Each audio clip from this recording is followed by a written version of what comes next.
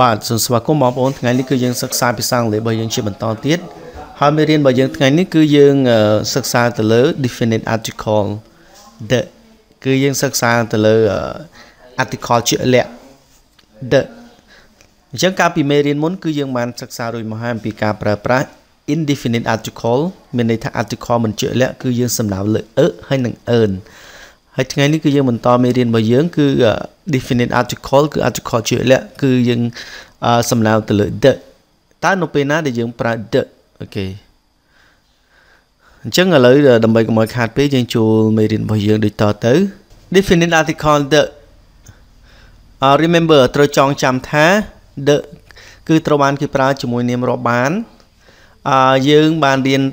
យើងបានដឹងថា the ហ្នឹងគឺអាចប្រើនៅពីខាងមុខនាមដែលបញ្ចប់ទៅដោយ ing form នេះ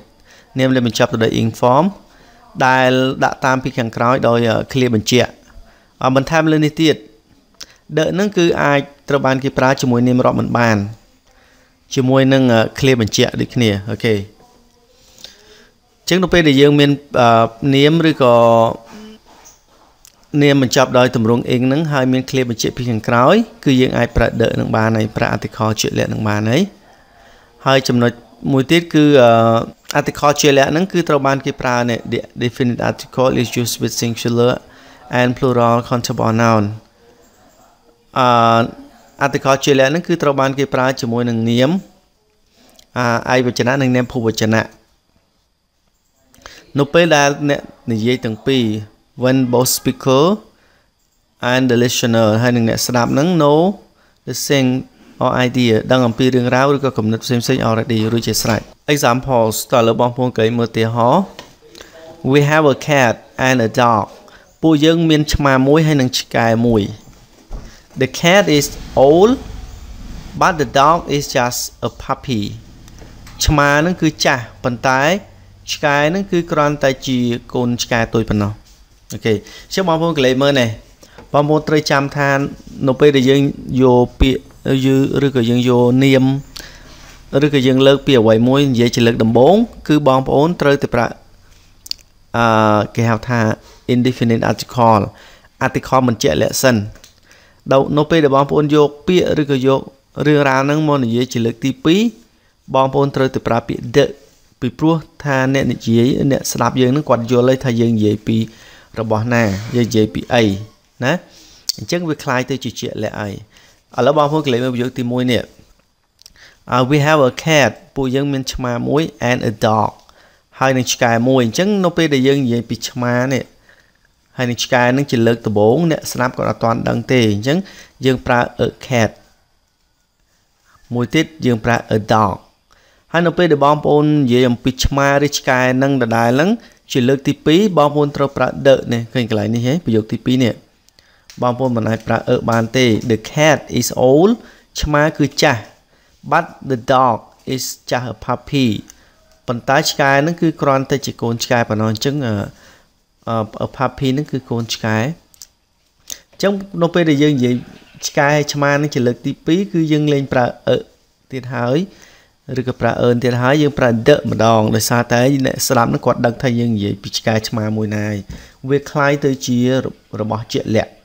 វាคล้ายទៅឆ្កែឆ្មាហ្នឹងគឺមិនទូទៅទៀតទេគឺជាក់លាក់គេមានតែឆ្កែឆ្មាដែលគាត់និយាយពីដើមនេះណាអូខេចឹងសឿមថាបងប្អូនយល់កន្លែងហ្នឹងសរុបទៅយើងប្រើ the ក្នុងករណីដែលយើងអឺ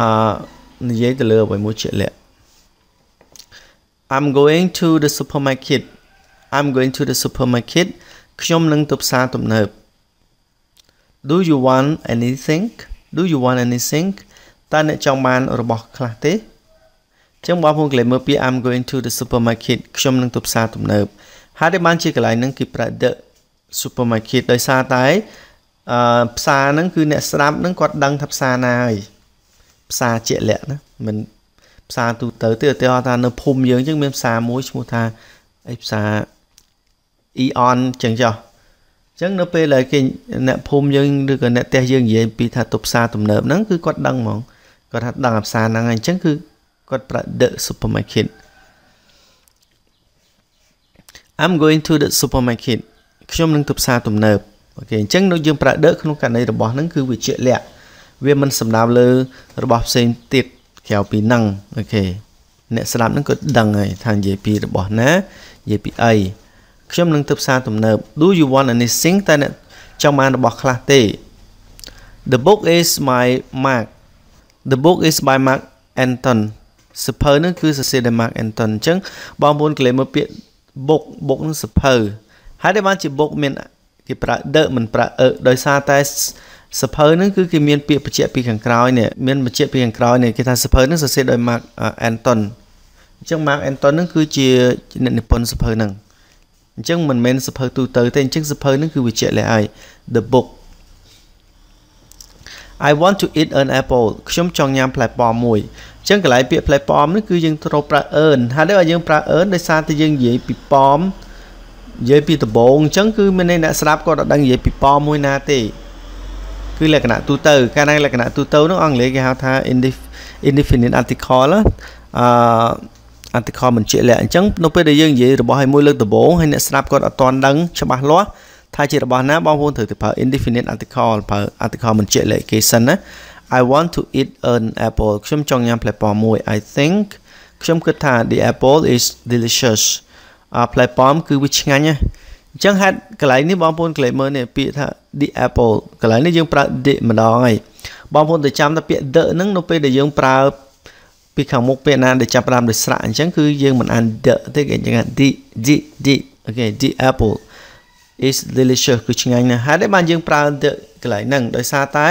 ផ្លែប៉ោមនេះគឺត្រូវបានគេយកមកនិយាយជាលើកទី2នៅក្នុងប្រយោគហ្នឹងកាលពីមុនគាត់និយាយម្ដងហ្នឹង I want to eat an apple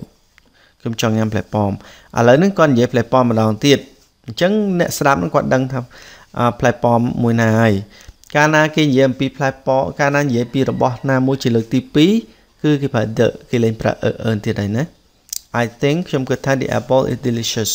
ផ្លែប៉ោមគឺឆ្ងាញ់ The boy in the corner is my friend The boy in the corner is my friend The boy in the corner ក្មេងប្រុសដែលនៅផ្លូវកាច់ជ្រុងហ្នឹង is my friend គឺជាមិត្តភ័ក្តិរបស់ខ្ញុំអញ្ចឹងកន្លែងហ្នឹងគេប្រើ the boy ហើយដែលបានជាបងប្អូនត្រូវដឹងថា ពាក្យពាក្យ the boy ហ្នឹងពេលហ្នឹងអ្នកនិយាយគាត់និយាយជាលើកដំបូងហើយហើយដែលបានជាគាត់អាចប្រើ the បានបងប្អូនឆ្ងល់ឡើងហ្នឹងឯងដោយសារតែវាមាន clear បញ្ជាក់ពីក្រោយនេះ in the corner នៅក្នុងផ្លូវកាច់ជ្រុង is my friend គឺជាមិត្តភ័ក្តិរបស់ខ្ញុំវាមាន clear បញ្ជាក់ឲ្យបានច្បាស់ពីខាងក្រោយអញ្ចឹងថាជាក្មេងប្រុសណានៅកន្លែងណាអញ្ចឹងកាលណាមានឃ្លាបញ្ជាក់អញ្ចឹងគឺអ្នកស្ដាប់នឹងគាត់ដឹងហើយវាអត់វាមិនមែនជាក្មេងប្រុសទូទៅទៀតទេណា គេសំដៅលើក្មេងប្រុសដែលនៅកាច់ជ្រុងហ្នឹងអូខេអញ្ចឹងកន្លែងហ្នឹងអាចប្រើ the បាន the boy the boy in the corner ក្មេងប្រុសដែលនៅផ្លូវកាច់ជ្រុង is my friend ស្រមកយើងប្រើ the ក្នុងករណីរបស់ហ្នឹងគឺជាលក្ខមិនទូទៅហើយអ្នកស្ដាប់ហ្នឹងគាត់ដឹងថានៅជានរណា ច្បាស់លាស់ណានៅកន្លែងណាច្បាស់លាស់ the sugar on the table is from Cambodia. The sugar on the table is from Cambodia. Score ដែលនៅលើតុហ្នឹងគឺមកពីប្រទេសកម្ពុជាចុះបងប្អូនក្លែមើលពាក្យ the sugar ហ្នឹងគឺពាក្យ sugar នេះ score ណានៅពេលដែលយើងប្រើ the អញ្ចឹងធម្មតាយើងអត់អាចប្រើ the បានទេប៉ុន្តែនៅពេលដែលបងប្អូនប្រើ the អញ្ចឹងបានលុះត្រាតែពាក្យហ្នឹងគឺវាមាន clear បញ្ជាក់របស់វានេះ on the table នៅលើតុមិនស្ករទូទៅឯងគឺអាស្ករមួយដែលនៅលើតុអញ្ចឹងស្ពាកស្ករនេះវាคล้ายទៅជារបស់ជាក់លាក់ មានស្ករដែលនៅលើតុអញ្ចឹងយើងអាចប្រើ the បានហើយ the sugar on the table is from Cambodia គឺមកប្រទេសកម្ពុជាអញ្ចឹងសង្ឃឹមថាបងប្អូនយល់យើងអាចប្រើ the បាននៅខាងមុខពាក្យនាមណាដែលអ្នកស្ដាប់នឹងគាត់យល់ច្បាស់លាស់គាត់ដឹងហើយបានយើងអាចប្រើបាន ជាពិសេសគឺនាមដែលយើងយកនិយាយជាលើកទី2យើងអាចប្រើ the បានដែរណាហើយបើសិនជានាមនឹងនិយាយជាលើកទី1ក៏យើងអាចប្រើដឹកបានដែរប៉ុន្តែលុះត្រាតែមាន ពាក្យឬក៏ clear អីបញ្ជាក់ពីខាងក្រោយឲ្យវាច្បាស់លាស់មិនយើងអាចប្រើដឹកបានអញ្ចឹងវាមានពីរចំណុចសំខាន់ហ្នឹងសង្ឃឹមថាបងប្អូនយល់ហើយហ្នឹងអូខេអូខេ now number 2ឥឡូវយើងចូលដល់ចំណុចទី2ចំណុចពីទី2នេះក៏ជាចំណុចសំខាន់ដែរបងប្អូនត្រូវគិតណា The definite article is used before she's gal plural lakes mountains rivers, hotels, pubs, theaters, museums, newspapers, schools, college, universities and ordinary numbers before nouns wars except World War. Certain countries or groups of countries except Great Britain. Historical documents and ethnic group ចុះបងប្អូនកលេមើលនេះគេថាម៉េចក្នុងចំណុចទី2នេះគេ the definite article article ជាលក្ខហ្នឹង is ត្រូវបានគេប្រើនៅពីខាងមុខពីខាងមុខអី before c ពីខាងមុខសមុទ្រឈ្មោះសមុទ្រមួយចំនួន គឺយើងអាចប្រើពាក្យ c បាន អាចប្រើ the បានណាបងប្អូន gal gal នេះឈួងសមុទ្រឈួងសមុទ្រមួយចំនួនយើងអាចប្រើ the បានប៉ុន្តែមិនទាំងអស់ទេណាបងប្អូន plural lakes plural lake នេះគេសំដៅលើបឹងដែលមានច្រើនបឹងដែលជាពហុបឹងណា mountains ភ្នំទាំងឡាយមានភ្នំខ្លះយើងប្រើដឹកបានប៉ុន្តែមិនទូទៅទេ rivers ទន្លេទន្លេមួយចំនួនយើងអាចប្រើដឹកនៅពីខាងមុខបានប៉ុន្តែមិនទូទៅទេ hotel សន្តាគារសន្តាគារមួយចំនួនយើងអាចប្រើដឹកនៅពីខាងមុខបានប៉ុន្តែមិនទូទៅទេ pubs ទៀមស្រាឈ្មោះ ទៀមស្រាមួយចំនួន theaters រោងមហោស្រព museum សារមន្ទីរ newspaper កាសែត school សាលា college សាកលវិទ្យាល័យ universities មហាវិទ្យាល័យ and ordinary number ordinary numbers មានន័យថាលេខចំនួនទី ទី1ទី2ទី3ណា first second third អីចឹងទៅ before now នៅពីខាងមុខនាមដែលនៅពីខាងមុខនាម war សង្គ្រាម except world war លើកលែងតែសង្គ្រាមលោកមាន world war 1 world war 2គេមិនបាច់ប្រើដឺទេ certain country ឈ្មោះប្រទេសមួយចំនួនជាក់លាក់អូខេ or group of country ឬក៏ក្រុមប្រទេសមួយចំនួនហ្នឹង except Great Britain លើកលែងតែចក្រភពអង់គ្លេស Great Britain ចក្រភពអង់គ្លេស historical documents ឯកសារប្រវត្តិសាស្ត្រទាំងឡាយក៏អាចប្រើដឺបាន the ethnic group ឬក៏ក្រុមជនជាតិ ethnic ជនជាតិណា ethnic group ក្រុមជនជាតិសរុបមកយើងអាចប្រើដឺជាមួយនឹងនាមមួយចំនួនដែលមានដូចនៅក្នុងអ្វីដែលខ្ញុំបានអានមិញហ្នឹងតើឥឡូវដើម្បីកុំឲ្យខាតពេលបងប្អូនមើលឧទាហរណ៍ទៅ examples ឧទាហរណ៍ដូចជា Atlantics the Atlantics មហាសមុទ្រអាត្លង់តិកអញ្ចឹងកាលណាបងប្អូននិយាយពីមហាសមុទ្រអាត្លង់តិកបងប្អូនត្រូវត្រូវទៅប្រើពាក្យ the អីណាត្រូវចាំ ឈ្មោះមហាសមុទ្រមួយហ្នឹងគេប្រើ the the uh, the Atlantics the Atlantics មហាសមុទ្រអាត្លង់តិក the Red Sea សមុទ្រក្រហមសិស្សឈ្មោះសមុទ្រណា the Red Sea សមុទ្រក្រហមគឺយើងប្រើ the ជានិច្ចហើយបើយើងប្រើ the បងប្អូនគឺត្រូវចំណាំណាចំណាំចំណាំអូខេ are the Persian Gulf ឆ្នេរសមុទ្រ Persian the Persian Gulf ឆ្នេរសមុទ្រ Persian អញ្ចឹងបងបងប្អូនទៅចាំនៅ Persian Gulf ហ្នឹងគេប្រើជាមួយ the អូខេ the Great Lakes the Great Lakes អឺបឹង Great Lake ឈ្មោះបឹងគេទេ Great Lakes អញ្ចឹងត្រូវទៅប្រើ the ឲ្យទៅឃើញពាក្យ Great Lake ហ្នឹង the Everest Mountains the Everest Mountain គឺភ្នំ Everest អញ្ចឹងយើងប្រើ the ដែរ Everest Mountain ណា the Rocky Mountains ជួរភ្នំ Rocky ជួរភ្នំ Rocky ក៏គេប្រើដឹកដែរ The Mekong River ទន្លេមេគង្គក៏គេប្រើដឹកដែរ The Cambodian Museum សារមន្ទីរនៃប្រទេសកម្ពុជាយើងប្រើដឹកមកអឺ The ចតុមុខ Theaters អឺមហោស្រពចតុមុខគេប្រើដឹក The Times អឺកាសែត Time អញ្ចឹង Time គឺពេលវេលាប៉ុន្តែពេលនេះជាឈ្មោះរបស់កាសែតគេ the times អញ្ចឹងបងប្អូនយើងត្រូវចាំថាយើងអាចប្រើដឹកជាមួយនឹងឈ្មោះប្រទេសឈ្មោះសមុទ្រឈ្មោះបឹងមួយចំនួនដោយដែលយើងបានអាននៅក្នុងអត្ថបទយើងហ្នឹងនេះមេរៀនយើងនេះ OK the Ritz uh, the Ritz អឺសណ្ឋាគារ the Ritz the Ritz នេះឈ្មោះសណ្ឋាគារណា the Ritz the High School or ព្រះស៊ីសុវត្ថិ OK សាលាវិទ្យាល័យព្រះស៊ីសុវត្ថិឬក៏ព្រះស៊ីសុវត្ថិ High School OK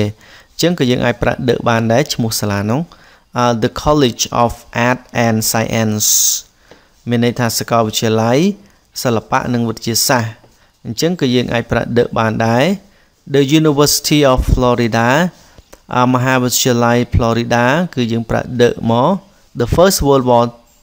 មានន័យថាសង្គ្រាមលោកលើកទី1 uh, ordinary number before noun ដោយសារតែមានពាក្យចំនួនទីនឹងនៅពីខាងមុខវា នេះនៅពីខាងមុខនាមណាបងប្អូនមើលនេះ the uh, World War 2អញ្ចឹងធម្មតាគេអត់មានប្រើ the ទេប៉ុន្តែដោយសារវាមានចំនួនទីនេះ first first ហ្នឹងទី1អញ្ចឹងយើងប្រើ the first world war អញ្ចឹងទៅណាសង្គ្រាមលោកលើកទី1 uh the shirt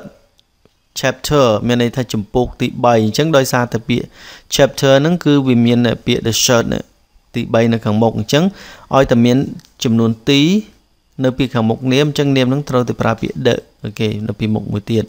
the shirt chapter មានន័យចម្ពោះទី3 The Korean War សង្គ្រាមកូរ៉េអូខេ Korean War សង្គ្រាមកូរ៉េ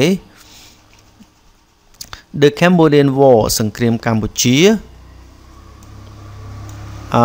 The United States សហរដ្ឋអាមេរិកអញ្ចឹងសហរដ្ឋអាមេរិកក៏គេប្រើ the ជារៀងរហូតដែរ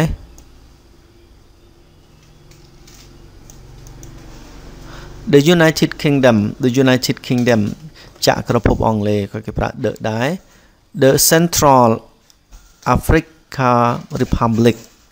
សាធារណរដ្ឋអាហ្វ្រិកកណ្ដាលអញ្ចឹង the Central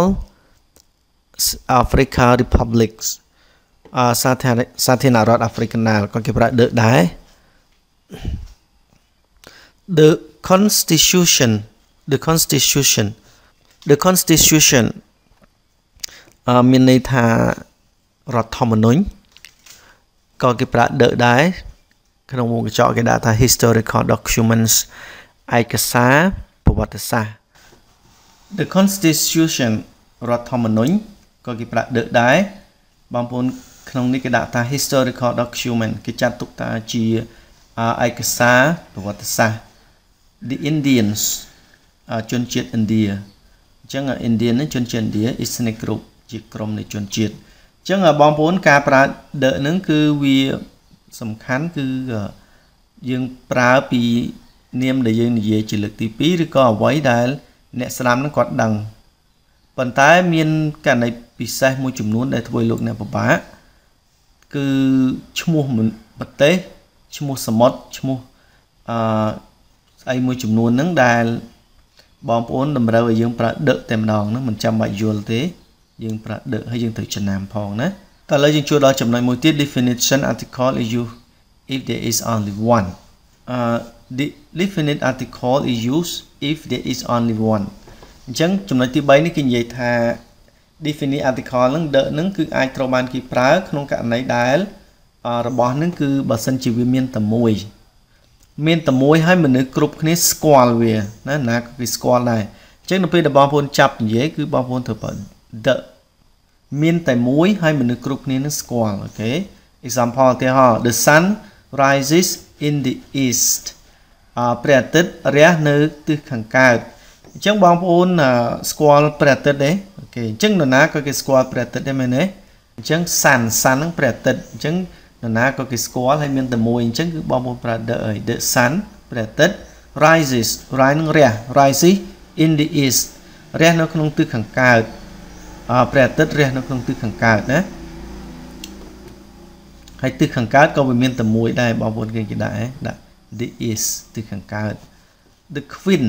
usually take care of her people the queen ប្រែថាម្ចាស់ស្ត្រីឬក៏ស្ដេចស្រីហ្នឹងជាធម្មតាមើលថែរក្សាប្រជាជនរបស់នាងអញ្ចឹងពាក្យ usually ជាធម្មតា take care take care មើលថែរក្សា take care of her people មើលថែរក្សាប្រជាជនរបស់នាងរបស់ខ្លួនរបស់ទ្រង់អញ្ចឹងណាស្ដេច The king Norodom Sihamoni has ascended the throne uh, legally អឺព្រះមហាក្សត្រសីហមុនីបានឡើងគ្រងរាជសម្បត្តិណា ascended the throne នឹងមានន័យឡើងគ្រងរាជសម្បត្តិពាក្យ ascended នឹងឡើងគ្រងរាជហើយពាក្យ throne throne នឹងគឺបល្ល័ង្កបានឡើងគ្រងរាជសម្បត្តិ legally យ៉ាងស្របច្បាប់ legally យ៉ាងស្របច្បាប់អញ្ចឹងបងប្អូនកលេចមើលនេះ slide say harmony គឺមានតែមួយអញ្ចឹងកាលណាមានតែមួយអញ្ចឹងគឺគេប្រើ the អូខេ the king នរោត្តមសីហមុនីហ្នឹងព្រះមហាក្សត្រនរោត្តមសីហមុនីអូខេ The royal government of Cambodia is reducing its people poverty The royal government of Cambodia មានន័យថា រាជរដ្ឋាភិបាលកម្ពុជាអញ្ចឹងពាក្យថារាជរដ្ឋាភិបាលកម្ពុជាហ្នឹងគឺវាមានតែមួយនៅក្នុងប្រទេសយើងហ្នឹងណាហើយណាក៏គេស្គាល់ដែរអញ្ចឹងគេប្រើ the អូខេអញ្ចឹងរបស់ហ្នឹងមានតែមួយហើយគេស្គាល់គ្រប់គ្នាគឺត្រូវតែប្រើ the រាជរដ្ឋាភិបាលនៃប្រជាណាចក្រកម្ពុជាហ្នឹងគឺកាត់បន្ថយភាពក្រីក្រនៃប្រជាជនរបស់ខ្លួនអញ្ចឹងពាក្យ reduce reduce ហ្នឹងគឺកាត់បន្ថយ is reducing កំពុងតែកាត់បន្ថយ its people poverty នៅភាពក្រីក្ររបស់ប្រជាជនខ្លួន The moon is full today the moon is full today ព្រះច័ន្ទគឺពេញវងនៅថ្ងៃនេះអញ្ចឹងពាក្យ the moon ព្រះច័ន្ទ is full គឺពេញវង today នៅថ្ងៃនេះអញ្ចឹងកាលណាយើងនិយាយអំពីព្រះច័ន្ទគឺមានតែមួយទេនៅនៅផែនដីយើងនឹងមានព្រះច័ន្ទតែមួយទេអញ្ចឹង the moon the moon is full today ព្រះច័ន្ទគឺពេញវងនៅថ្ងៃនេះអញ្ចឹងសរុបមកកាលណាយើងនិយាយពីរបស់ណាដែលមានតែមួយហើយគេស្គាល់គ្រប់គ្នាអញ្ចឹងបងប្អូនប្រើ the ទៅណាអូខេ The definite article article ជាលក្ខ is used ត្រូវបានគេប្រើ with superlative adjective ជាមួយនឹងគុណនាមកម្រិតដាច់គុណនាមកម្រិតដាច់គេណាបំផុត example ឧទាហរណ៍ he is the richest man in the world គាត់គឺជាបរិសអ្នកមានបំផុត នៅក្នុងពិភពលោក he is គាត់គឺជា the richest man the richest man បរិសដែលមានជាគេបំផុត in the world ក្នុងពិភពលោកអញ្ចឹងគឺនៅពេលនេះបងប្អូន claim rich នឹងមាន richest មានបំផុតអញ្ចឹងវាជាកម្រិតដាច់វាជានេះវាជា superlative adjective ជាគុណនាមប្រៀបធៀបកម្រិតដាច់កម្រិតបំផុតណាអញ្ចឹងបងប្អូនត្រូវតែប្រើ the រហូតឲ្យតែមានការប្រៀបធៀបគុណនាមកម្រិតដាច់មកជាមួយគឺត្រូវតែមាន the អូខេ He is the richest man in the world គាត់គឺជាបរិសអ្នកមានបំផុត នៅក្នុងពិភពលោក Peter Peter is the oldest is the oldest in the class Peter គឺចាស់ជាងគេបំផុតនៅក្នុងថ្នាក់រៀនអញ្ចឹងពាក្យថា old នឹងចាស់ oldest ចាស់បំផុតអញ្ចឹងជាកម្រិតដាច់ជា superlative adjective គុណនាមកម្រិតដាច់គុណនាមកម្រិតបំផុត Mary is the most beautiful girl that I have never seen Mary is the most beautiful girl that I have ever seen Mary គឺជាក្មេងស្រីដ៏ស្រស់ស្អាតបំផុត ដែលខ្ញុំធ្លាប់បានឃើញអូខេអញ្ចឹងបងប្អូនកលេចមើលពាក្យ Mary គឺឈ្មោះគេទេ Mary is the most beautiful girl មានន័យថា the most ហ្នឹងគឺបំផុត beautiful girl ក្មេងស្រីដែលស្អាតបំផុត that ហ្នឹងគឺដែល I have ever seen ដែលខ្ញុំធ្លាប់បានឃើញ អញ្ចឹងកាលណាគេនិយាយពីស្អាតបំផុតអញ្ចឹងគឺយើងប្រើអឺ the អូខេកន្លែងនេះយើងប្រើ most ដោយសារតែគុណនាម beautiful ហ្នឹងវាជាគុណនាមវែងគេហៅ long adjective ចាប់ពី2បាត់ឡើងទៅគឺយើងប្រើ the most talent គឺជា talent ហ្នឹងគឺ